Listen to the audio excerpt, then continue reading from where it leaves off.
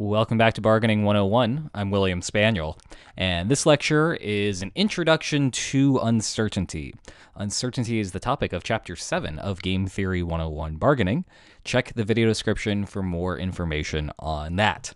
Now, to situate where we are with this lecture and the upcoming lectures as opposed to what we have done in the past, before Albert knew what Barbara's bottom line was, or at least he knew what Barbara's expectation about Barbara's prospects elsewhere, what her outside option was. And so the information that Albert knew was identical to the information that Barbara knew. What we're venturing into now is a situation where one party knows something that the other party doesn't. And specifically, what we're going to be focusing on here and most of the rest of these lectures on uncertainty is a situation where Albert doesn't know Barbara's bottom line. So, one example of this is the following game tree. This is a little bit more complicated than what we've seen before, so bear with me for a moment as I try to explain what's going on here. Let's ignore the top of this for a moment and just focus on that game tree on the left. That game tree on the left should look really familiar. This is a situation where Albert is making an offer to Barbara, 0 to 1, a division of the surplus, which Barbara can accept and implement that settlement or reject and get something else on her own. So in that case, her outside option is 0.25, and Albert ends up with nothing. If we again ignore the top of the game tree but just look to the right, we see another very familiar situation. In fact, it's exactly what we looked at before, except now Barbara, if she rejects the offer, has an outside option that's worth 0.5 as opposed to just 0.25. Now, what we're representing up top is the idea that Albert doesn't know which way the situation is going. So we have this autonomous actor that we call nature, which chooses whether Albert is facing the weaker type with an outside offer of only 0.25 or a stronger type of Barbara who actually has an outside offer bigger equal to 0.5. So nature makes this move with probability P. Barbara is this weak type that has the outside option of 0.25. And with remaining probability 1 minus P, Albert has the situation where Barbara's outside option is equal to 0.5. And that dashed line that runs between the two cases represents the fact that Albert doesn't know which situation he's in, whereas Barbara, you notice that there is no dashed line that runs between the two Barbaras there. Barbara actually knows which situation she's in. So, just to recap here, what this is essentially trying to do is look at a situation where Barbara knows what the offer that she has elsewhere is, but Albert does not. So that's a very plausible thing to think about, right? There are many cases, and we'll talk about this more as we go further into researching what uncertainty does to bargaining situations. There are many cases where it makes sense for Albert to know very closely closely what Barbara's outside option is, but on the other hand, there are also plenty of situations that more resemble this sort of situation. So this is a very important situation to consider, and that's why we're going to be spending quite a few lectures actually analyzing this particular situation. Now, how do we go about solving this? Well, we can't just necessarily start all the way at the bottom and work all the way up to the top because there's a situation where Albert doesn't actually know which situation he's in. And so we have to do a little bit more legwork here to actually get to the solution. Now, what we can do though is start at the very bottom with Barbara's decision. Barbara knows which situation she's in. If she's actually this weak type, she knows that she's the weak type so she can make the proper decision. She doesn't face any uncertainty like that. So if Barbara is in fact this weak type, she's going to accept any offer that's at least as good as 0.25. So any offer that's greater than that, Barbara is definitely going to accept, and any offer that's equal to that, well, she's indifferent, and so we're just going to suppose that she accepts in that case, just like we've always been doing in the past. Barbara knows this. She knows all the information, so she can make the right decision here. Similarly, if we're in the other side on the in the other case where Albert is facing actually a strong type of Barbara, Barbara again knows that she's strong. She knows that her outside option is worth one half, and so she's willing to accept anything that is greater than or equal to one half. So those parts of the game tree are actually very easy to figure out. It's this last part of figuring out what Albert should do, given that he doesn't know whether he's on the left side of the game tree or the right side of the game tree. And this is actually fairly complicated because if you think about it, there are an infinite number of possible offers that Albert could give. There is a choice between 0 and 1. There are infinitely many numbers on that interval. And so Albert actually has to consider quite a few, in fact, infinitely many different choices here. And yet, despite that, I'm going to make a claim here, and I'm going to prove that this claim is true. Albert's optimal offer is either 0.25 or 0.5. Again, we started out with an infinite number of possibilities. I'm claiming here that there's only two possible optimal offers that we really need to be considering. And to see why that's the case, let's look at a number line here. So imagine that this is the offer size ranging from 0 to 1, and notice that I've put the two different possible outside options from Barbara there 0.25 if she's weak, and 0.5 if she is strong. Let's think about these in cases. First, let's look at what's going on on the left here. If Albert offers an amount between 0 and 0.25, those are offers that Barbara is always going to reject. If she's weak, her outside option is worth 0.25, so she's not going to accept it. And if she's strong, her outside option is 0.5, she's definitely not going to accept it in that case. So either way, if Albert offers less than one quarter, Barbara is going to reject. Now, this cannot be optimal for Albert because Albert could offer some amount that at least some of the time Barbara would actually accept, and that would result in a positive expected value for Albert compared to what happens here if he offers an amount between 0 and 0.25. Barbara always rejects, and Albert receives a payoff of 0. So we know in this case, Albert will not be offering an amount between 0 and 0.25. That just can't be optimal for him. Now let's think about a situation where we are between 0.5 and 1, and we're thinking about a situation where we're actually greater than 0.5 here, not equal to 0.5, but strictly greater than 0.5, all the way up into 1.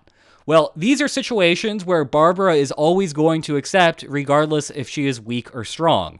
That's because even if Barbara is the strong type and she receives a payoff of one half if she rejects Albert's offer, well, here, she's getting more than that, so of course she's going to accept. And also, of course, the weak type is going to accept because the weak type was only getting 0.25.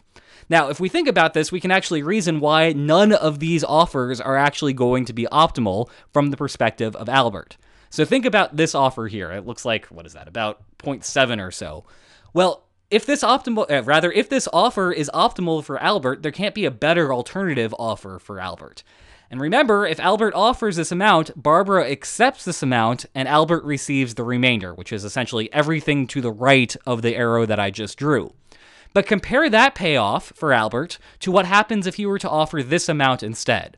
So it's still true that Barbara is going to accept regardless of whether she's weak or strong, and Albert is going to receive the remainder. The difference here, though, is that Albert's remainder is larger because he's offering less to Barbara. So in this situation, Albert is better off than if he had made the offer that corresponds to the original arrow. Well, we can keep doing this again. This offer is going to be better than that second arrow that I drew because, again, Barbara is going to accept it, and that leaves more for Albert than if he had actually offered that second arrow. So he prefers offering the third arrow that I drew, the one all the way on the left, to either the middle one or the one on the right.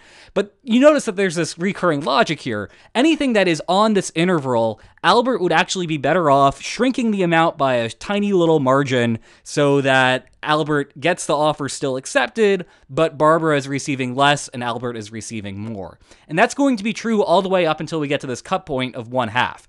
At this point, if Albert decreases the offer anymore, it's no longer going to be true that Barbara is always going to accept because now a strong type of Barbara would re- uh, would prefer to reject. So what we've done now is we've eliminated everything on the interval between one half and one as a possibility for an optimal offer, but one half is still in play. The other thing that we need to consider is the interval between one quarter and one half. Again, we're not going to be including those actual cut points of one quarter and one half, just things that are in between them. Well, in this case, we're looking at a situation where Barbara is going to accept if she's weak and is going to reject if she's strong.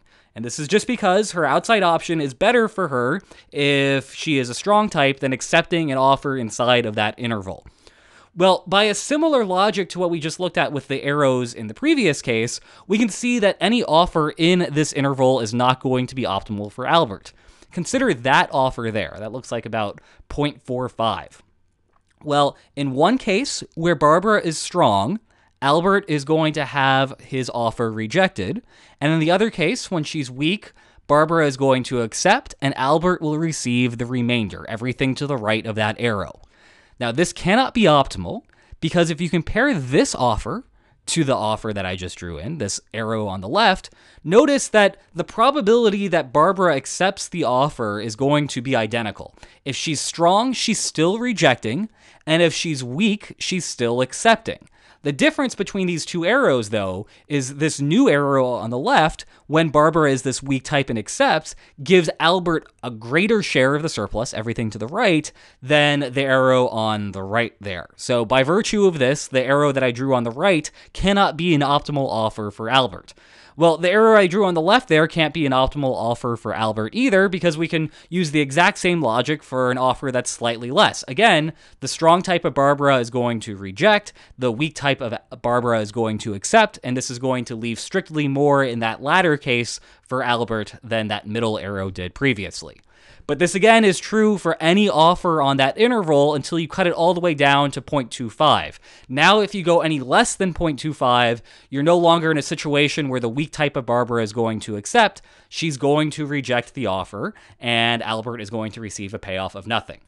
So, again, to recap once more, we looked at a situation where there are infinitely many different offers to consider, and we've boiled it down to just two possibilities. Either Albert is going to offer one half, or he's going to offer one quarter. Well, which one is it? We can actually figure this out very quickly by doing a comparison between the two payoffs for making these offers. So notice that if Albert offers one half, then both types are going to accept. The strong type accepts and the weak type accepts. And so we don't need to be calculating any expectations here because we know exactly what happens in this case. Albert receives the remainder of the offer, which is 1 minus 0.5 equal to 0.5. So if, uh, if Albert offers one half, he's going to receive one half for sure in this case. Well, what about the other situation? What happens if he offers one quarter instead? This is a little bit more complicated.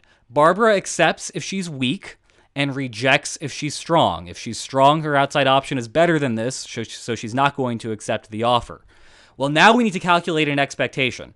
Remember that P is the probability that Barbara is weak, which means that Albert, when Barbara is weak, receives the remainder of the offer because Barbara is accepting in this situation where she's weak.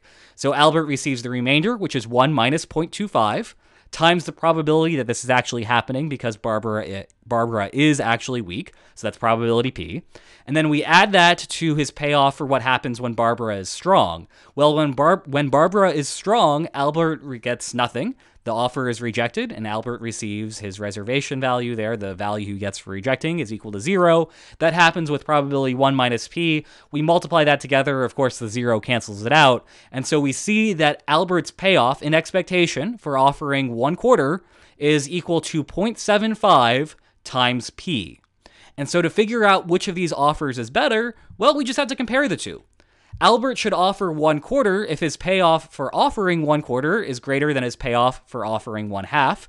We know what those payoffs are from the previous two slides. When he offers one quarter, he receives 0.75 times P. When he offers one half, he receives 0.5.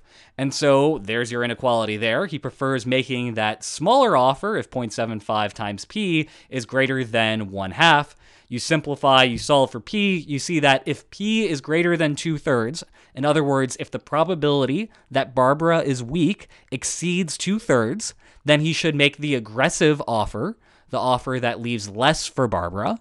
And by analogous argument, if P is less than two thirds, he should make the safe offer, the offer of one half, which guarantees acceptance. Now, we've seen a whole bunch of different things in this lecture on this introduction to uncertainty. I have just shown you what the solution is to the game. I have not yet analyzed what's really going on here. And what's going on here is something known as a risk return trade off, which is a very important concept in bargaining with uncertainty. So, I'm actually going to analyze the results of this game and talk about why this model is actually really important if you're trying to understand what goes on in a bargaining situation. So, I hope you en- I hope you enjoyed this introduction to uncertainty, and I also hope to see you here next time. Take care.